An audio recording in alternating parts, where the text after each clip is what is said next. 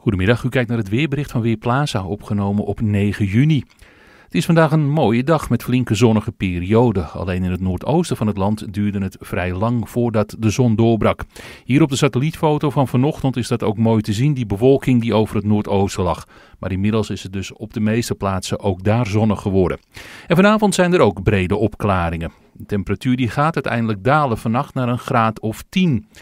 Maar vanavond is het eerst nog redelijk zacht, met zo'n 15 tot 19 graden. Er zijn flinke zonnige perioden, zoals gezegd, en de wind die waait uit het noorden en is overwegend matig. Misschien dat die op zee nog eventjes vrij krachtig is.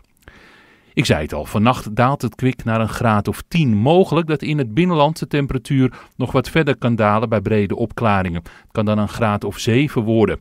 Ook kan er dan een enkele mistbank ontstaan. Morgenochtend verdwijnt die mist snel en beginnen we met zonnige perioden. In de loop van de dag neemt wel vanuit het westen de bewolking toe en in de middag dan is het toch wel overwegend bewolkt. De temperatuur is dan inmiddels opgelopen naar zo'n 17 tot 22 graden.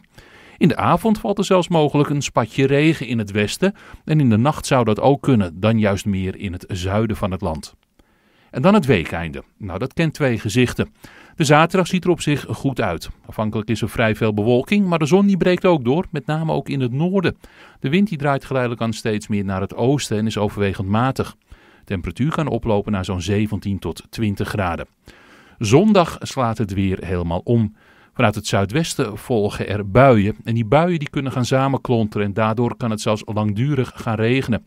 Met name in het zuidoosten van het land kan veel water vallen. Temperatuur ligt zondag even goed tussen de 17 en de 20 graden.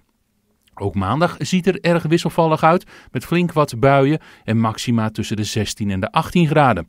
En dat wisselvallige weer houden we eigenlijk de hele volgende week. Pas aan het eind van de week lijkt het weer iets rustiger te worden, maar het is nog vrij onzeker. Wat de temperaturen betreft, over het algemeen net iets onder de 20 graden in de middag. Mijn naam is Raymond Klaassen voor Weerplaza. Ik wens u een fijne dag.